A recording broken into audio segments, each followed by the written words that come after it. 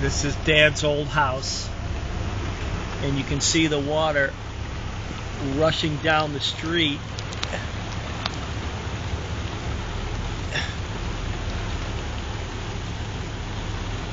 It flooded the whole the whole driveway. See if I can zoom in there.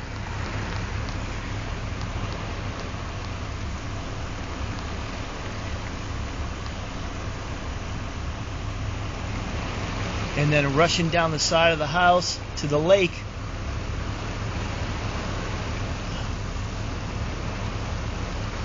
Crazy.